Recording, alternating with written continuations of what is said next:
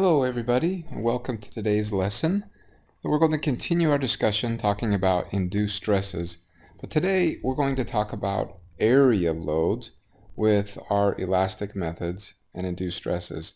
Uh, by way of review, let's uh, just talk a little bit about what we discussed last time. So if I just take a section of the ground drawn here in three dimensions Here's the ground surface. Let's say that uh, we have a point load, a single load that's applied to an infinitesimally small point on the ground surface.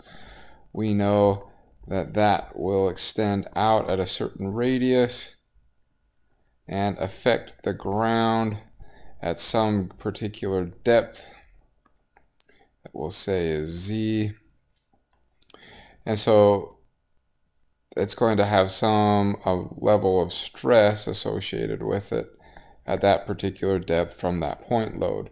So we talked about point loads. We also talked about, I will erase some stuff here. We also talked about the possibility of, instead of point loads, what if we had a line load? So, whoops. Imagine if we had a line along the ground surface on which our stresses were situated.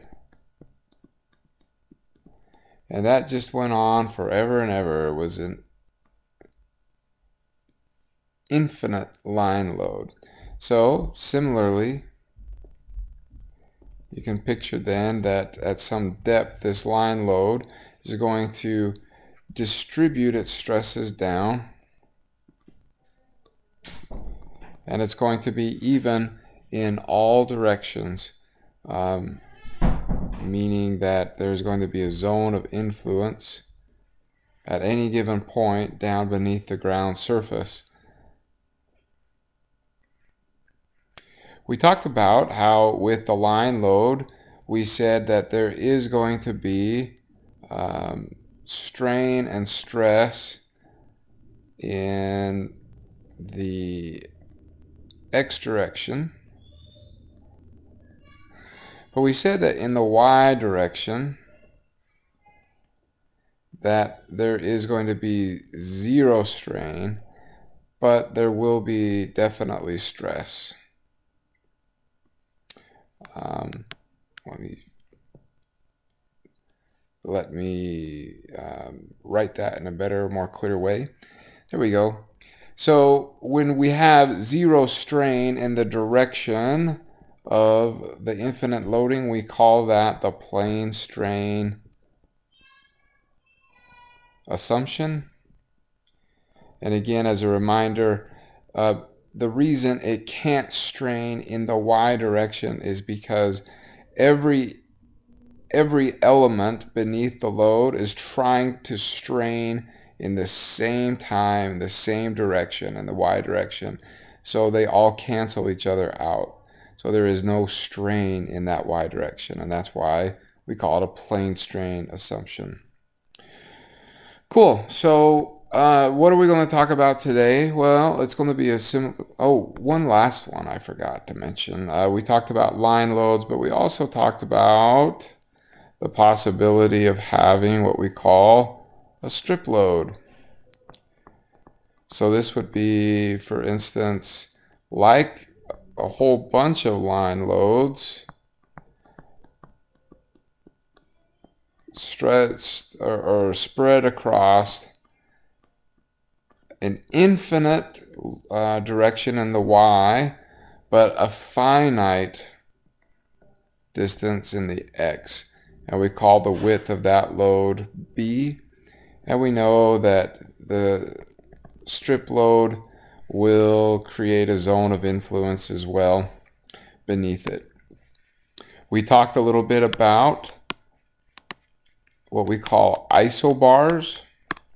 And you'll recall that isobars are just the solution to the elastic equations where all we're doing is we're computing the stress bulb beneath our load. So if the load that we've applied to the soil is what we call Q, then we can have different levels of um, what we call um, influence factors. And this is what the isobar is giving us. So we might have 10% of Q. We might have, um, you know, 30% of Q. We might have you know, 50% of Q and so on and so forth right up until we get to like, you know, uh, 90% of Q. And so all these are are just indicators of how much stress, additional stress the soil is feeling from the induced load that we apply to the ground surface. Now a couple of things to remember about our assumption when we're using the Boussinesq um, elastic methods. You'll recall that we're assuming the soil is isotropic, meaning that the elastic modulus in the x direction is the same as the elastic modulus in the y direction, is the same as the elastic modulus in the z direction. They all equal each other. As a result of this, what this means is that in the Boussinesq solutions, there, um, there is no modulus term. The modulus cancels out. So what that means is that when I apply the Boussinesq equations, it does not matter what type of soil I have.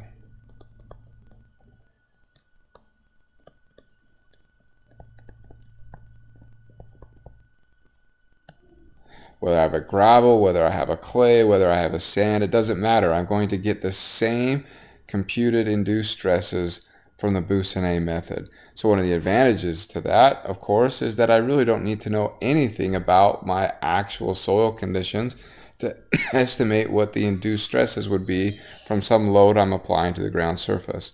We're also going to assume that the soil is homogeneous And we're going to assume that the soil is elastic. And so these are some pretty big assumptions that we're making. Um, but we find that all of these assumptions generally lead us to a conservative solution, meaning that the, the induced stresses we're computing from these approaches tend to be a little bit larger than they actually are in real life, which is good. Okay, so we're going to continue our discussion of in computing induced stresses with the Boussinesq elastic methods, but we're going to now look at some more sophisticated geometries of the load. Not just line loads, not just strip loads, but we're going to look at um, different shapes of loads as well as some flexible methods that you can apply to get some really unique uh, load shapes for induced stresses. So uh, here's a nice little uh, slide I put together to show you the solutions for a circular area. If you're just interested in points beneath the center of the circle, then you can approximate those solutions, the change in vertical stress, using this equation here that I've circled. Notice that this isn't an exact solution, it's an approximation from uh, Professor Harry Poulos down in Australia. Um, if we want to solve the isobar solution, there's only one isobar, and that's going to be this plot right here, that we can get the increase in our vertical stress beneath the center of our circular load. Why the center? Well, because that is typically where the stress from the circular load is the greatest.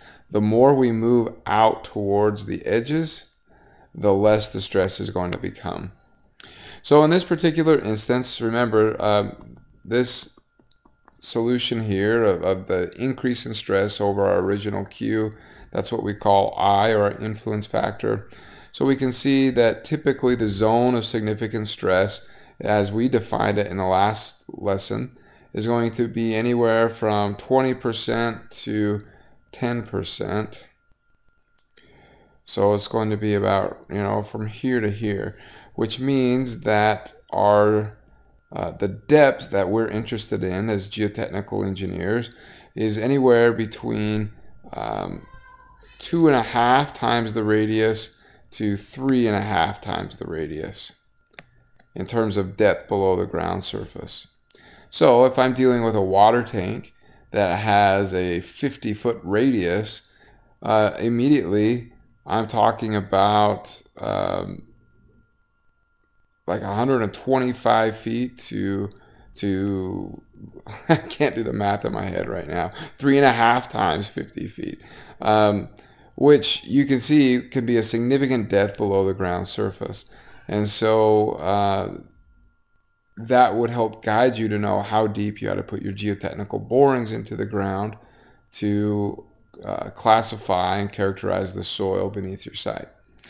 Now, what if you want a point that is not beneath the center of the load? And that's okay. Um, maybe we were interested at a point beneath the edge of, whoops, beneath the edge of our load, or maybe we're interested in the induced stress at some point outside the footprint of the circular load. In that particular case, we can use this equation right here, where our influence factor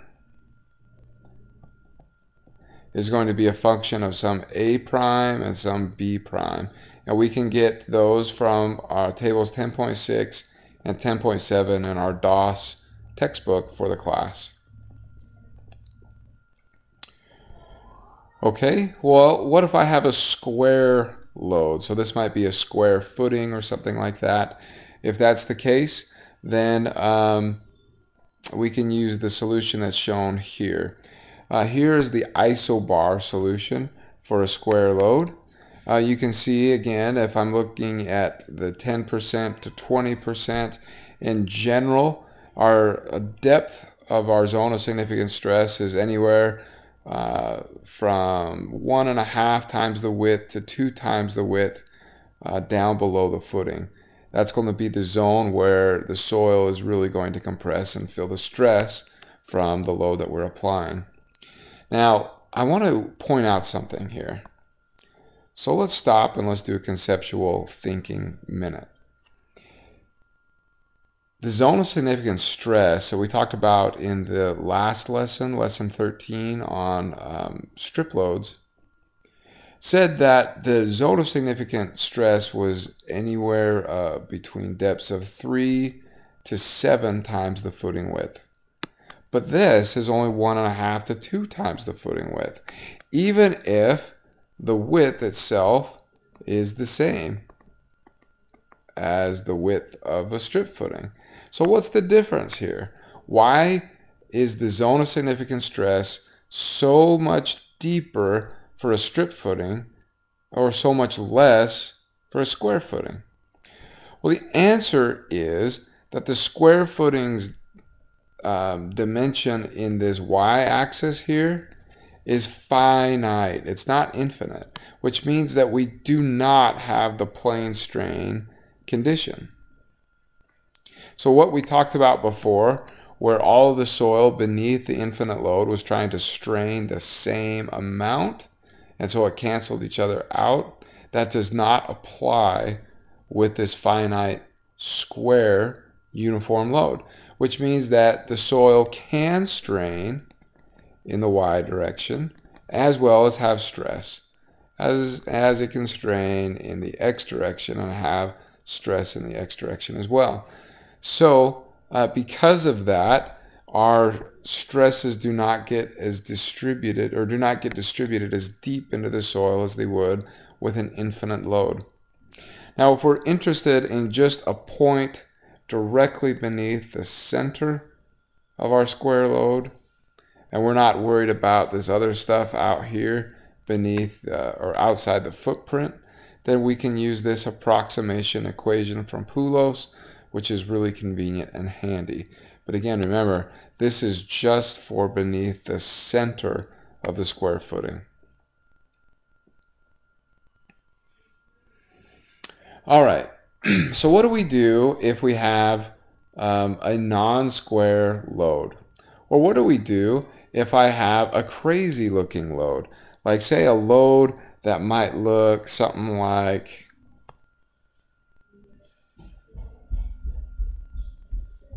this. I'm uh, looking down in plan view. You might say, holy cow, how in the world am I going to compute the stresses beneath uh, a load that looks something like this?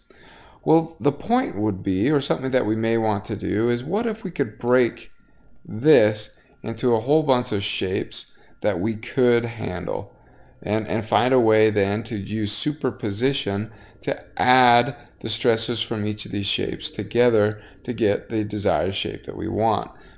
So Boussinesq gave us a wonderful tool. And what it is, is it's a methodology to, com to compute or estimate the stresses below the corner. I want to emphasize this. This is below the corner. Whoops. Not the center, the corner of a uniformly loaded rectangular area. So here's the corner of the rectangle, and we are now beneath the corner of it.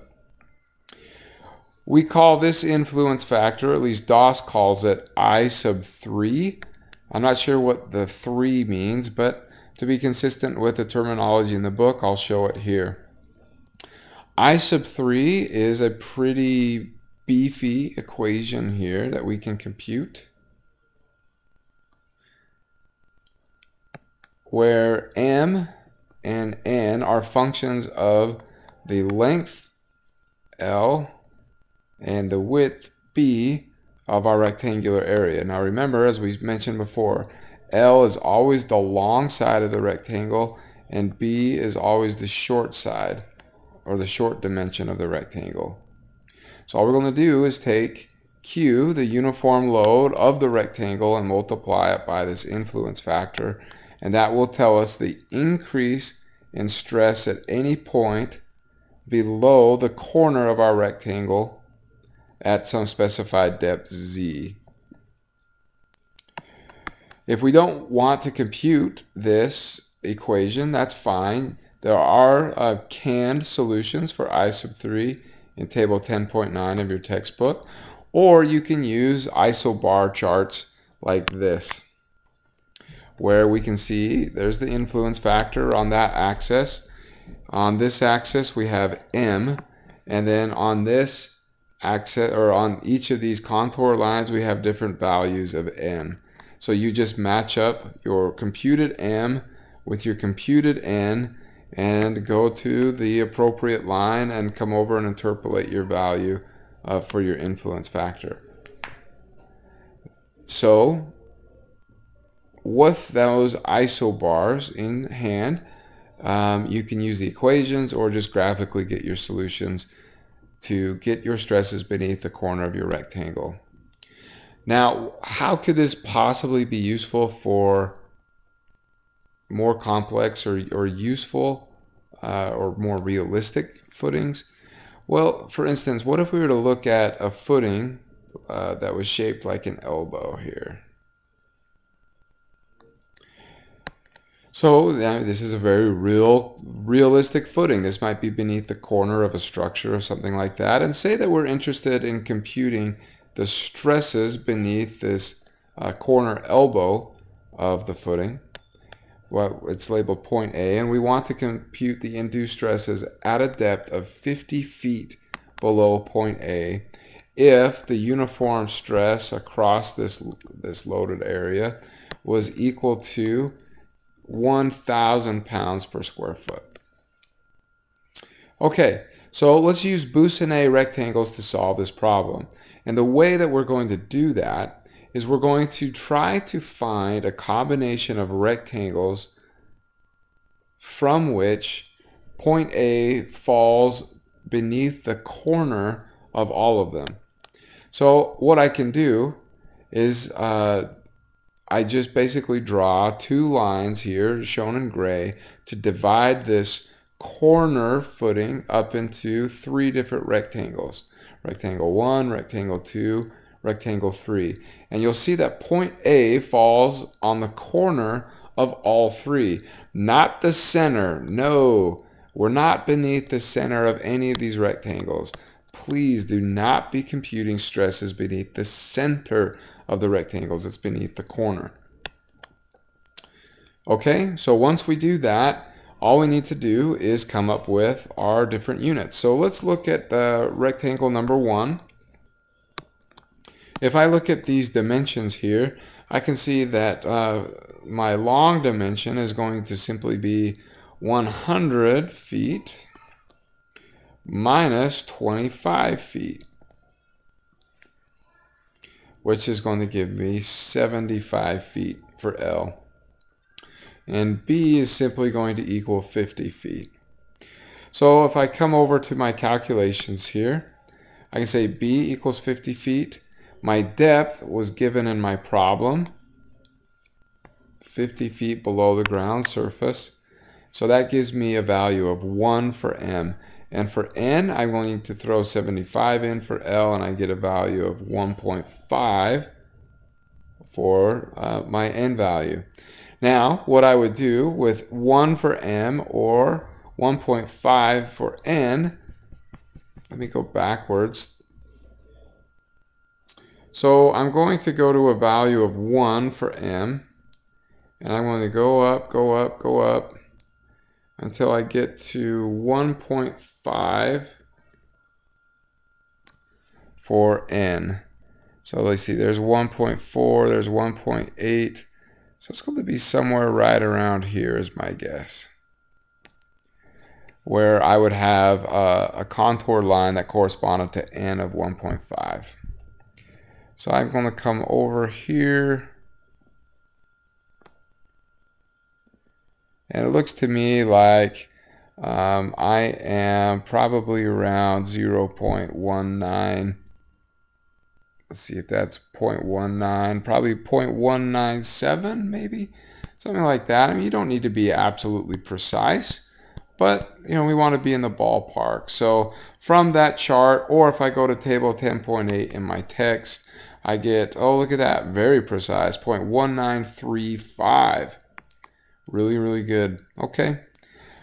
For area number two, I'm going to compute M of, uh, I need to get my width B, and that's going to be 25 feet in this particular instance for rectangle number two.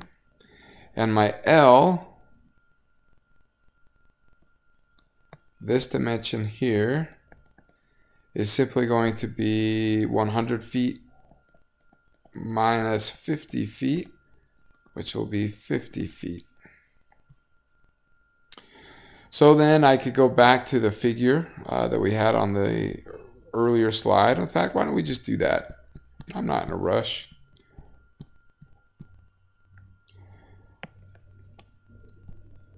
Of course, I want to make sure I get the numbers right. M of 0.5, N of 1. So m of 0 0.5, 0 0.2, 0.3, 0.4, 0.5. Whoops. So here's m of 0.5, and I'm going to an n value of 1. So up I come, up I come, until I get to 1, which is right here, where those intersect and that will correspond just estimating it looks to me more like uh, 0.125-ish maybe. So let's see what we get here. Oops, I don't know why I'm zooming in. 0.120 okay. So my interpolation skills aren't very good with my eyeball but you get the idea. So what I want you to do, um, number three, you're going to notice rectangle number three is the exact same dimensions as rectangle number two. 25 and 50 uh, for L or B and L respectively. So we get the same values of M, which means that we're going to compute the exact same influence factor. So now I have the influence factors for rectangle 1, rectangle 2, and rectangle 3. We can use superposition to add those influence factors together. And that's from rectangle 1, from rectangle 2, and rectangle 3. Add them together and multiply them by Q. And that will give me my vertical induced stress at the depth of 50 feet below point A. So you can see how that works.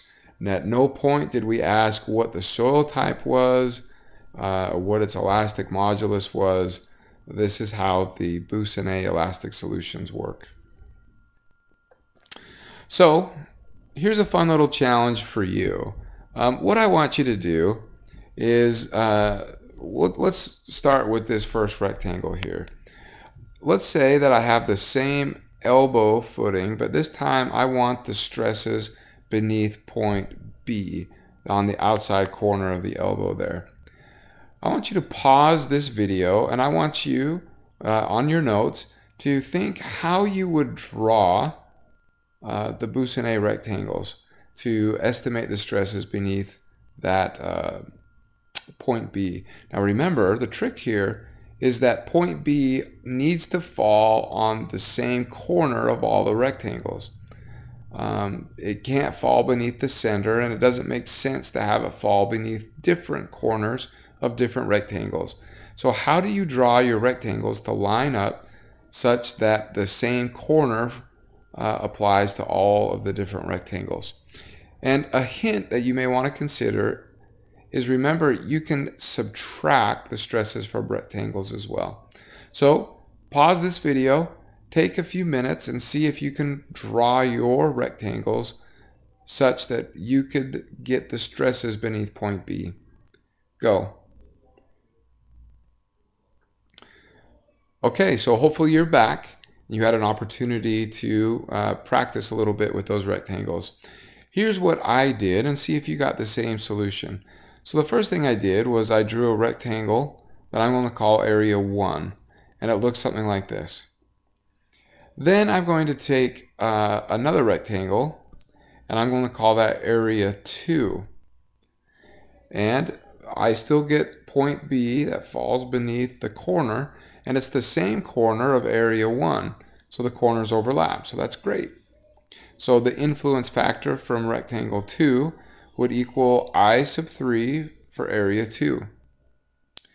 But here's the problem. We double counted this area. We have two rectangles now that overlap. And so we have to correct for the fact that we double counted it. So I can draw a third rectangle that I'm going to call area 3. Notice that its corner lines up with areas 1 and 2. And all I need to do then is subtract the influence factor um, from it so that we can get the stresses, the induced stresses uh, beneath point B. Great, so now let's do the same little activity. I want you to pause the presentation again, but this time I want you to find the rectangles we would need to compute the stresses beneath point B if point B was outside the footprint of this rectangular load. Go. Okay, welcome back. Hopefully you had a chance to practice that. Let's see if you got the same solution that I did. So the first thing I did was I drew a big imaginary rectangle and I called it area 1. Then the next thing I did was I had to subtract out the stress from this area where there is no actual load. So I drew a second rectangle, area 2, and notice again the corners of the rectangles overlap right at point B. That's the trick, folks.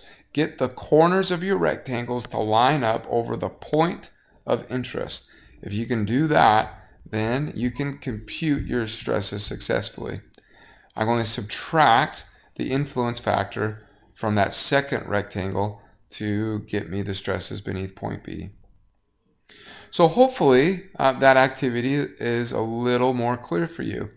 So uh, moving on, what if we have a different shape or a different low geometry? A very common low geometry is that of an embankment. So if I go back to my whiteboard, here's the ground surface. What if we were building a new highway embankment or a new dam or a new levee and I want to know the stresses beneath that embankment or that dam. And um, it's very similar, you could say, to like a rectangular load, except that we have the corners lopped off. And so, of course, um, we can account for that by using what we call a ramp load or uh, an embankment load.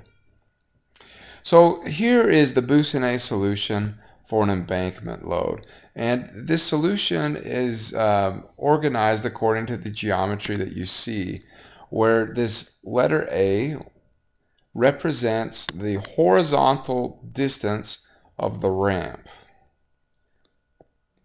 So that's the portion of the load where the load is increasing linearly until it reaches some constant crest load which might represent the top of the embankment or something like that. So um, A gives us the dimension of the ramp. B gives us the dimension along the top of the crest.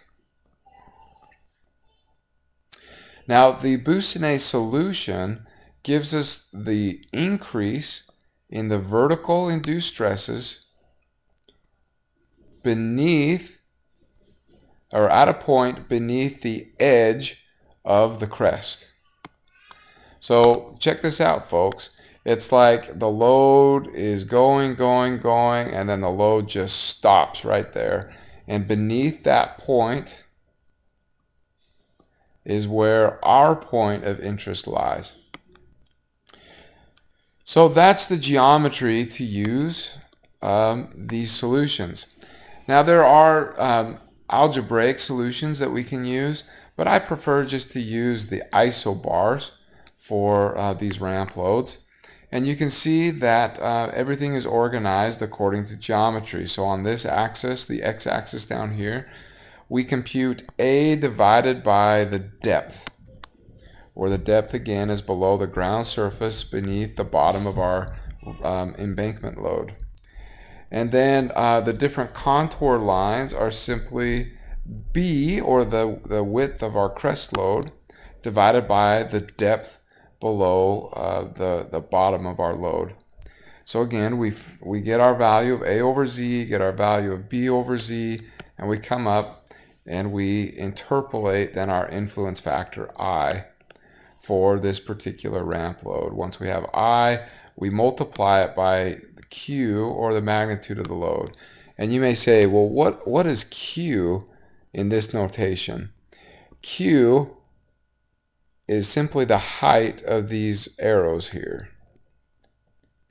And it is equal to the unit weight of the material times the physical height of the material.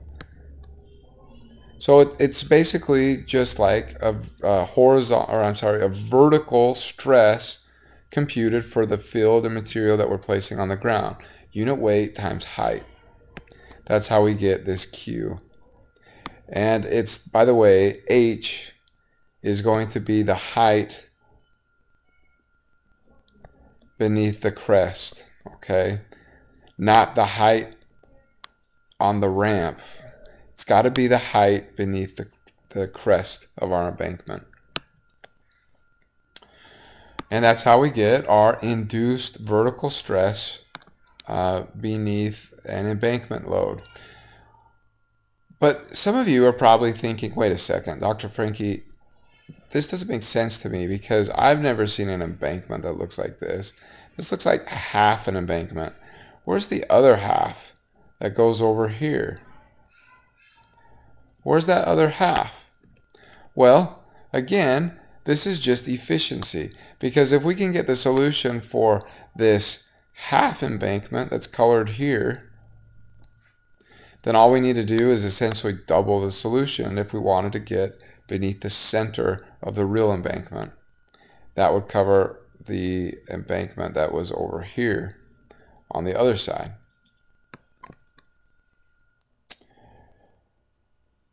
but what if we not we're not beneath the center of the embankment? Well, that's okay.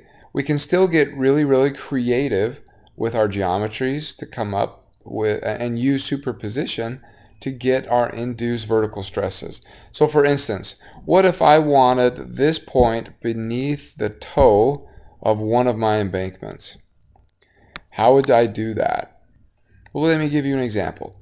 I would, first of all, do an embankment that looked like this, where my, my width on the crest of this embankment would equal that dimension.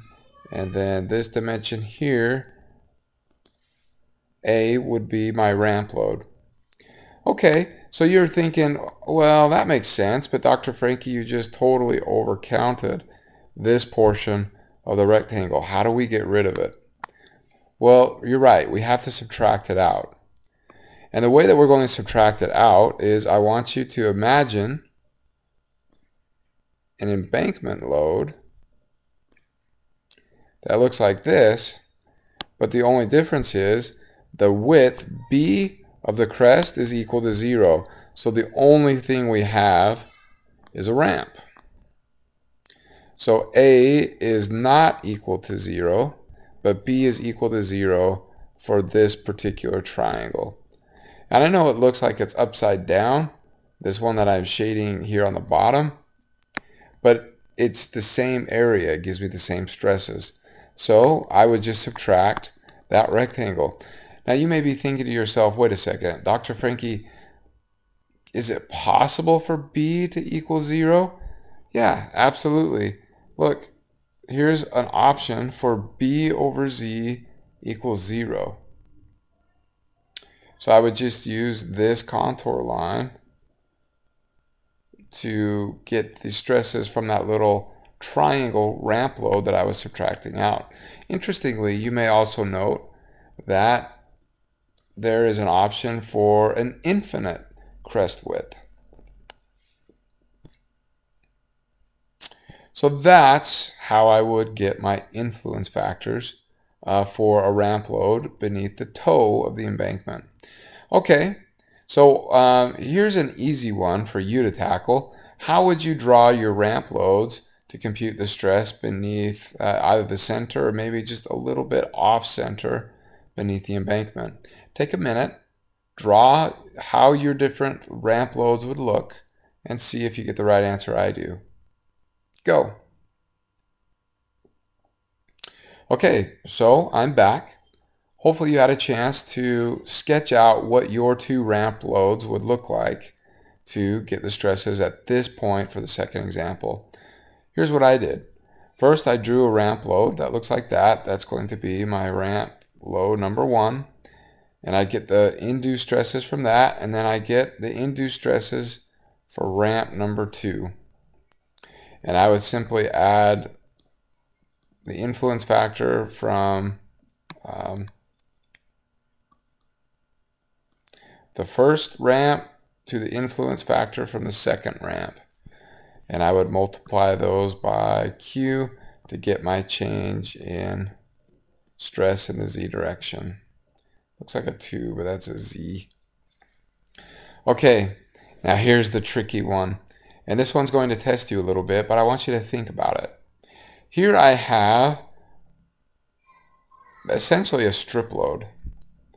It's just a, um, a rectangular, infinitely long load, and I want to know the stresses beneath the edge of it. Can I use embankment or ramp loads to do this? The answer is yes. Take a minute and find out uh, and see what, what you would do to get the stress beneath the edge of this load. Okay, hopefully you're back and you had a chance to try this out. Here's what I did.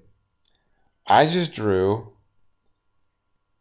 a ramp load that had a really, really small a dimension for the ramp. Now, if you go and look at those isobar solutions, you'll find that A, whoops, I'm not sure why that deleted, A cannot equal zero on those solutions. there, it, it's not impossible because it's drawn on a logarithmic plot. But we can get an A dimension that is really, really small. So what does that mean? That means that we are getting a little bit extra stress from that really, really small ramp that doesn't actually exist. But look where my point is. My point is way far away from that. So in reality, it's going to be really negligible induced stresses that I'm predicting at my point of interest. And some of you may say, well, Dr. Franke, why wouldn't you just apply the solution for a strip load uh, to this problem? And I would say, great job. Yep, you're absolutely right. Just apply a strip load and you'll get this about the same answer. The point I'm trying to make is that you can get about the same answer using this ramp approach as you would using the strip load approach. Your influence factor I should be about the same thing. Okay, well that's the end of our lesson today. Um, you're going to have a fun time practicing these Boussinesq rectangles, especially beneath the corners, of the, the, the rectangles beneath the corners. You're going to have a fun time using those on your homework. Remember, folks, I always have several students who end up trying to apply the rectangles or, or, or apply the points beneath the center of the rectangles. Don't make that mistake. Line up your rectangles such that the corners all align with your point of interest. You want to get the stresses beneath the corner of your rectangle. Good luck with your assignment and thank you for your attention. I look forward to seeing you guys next week. Have a wonderful day.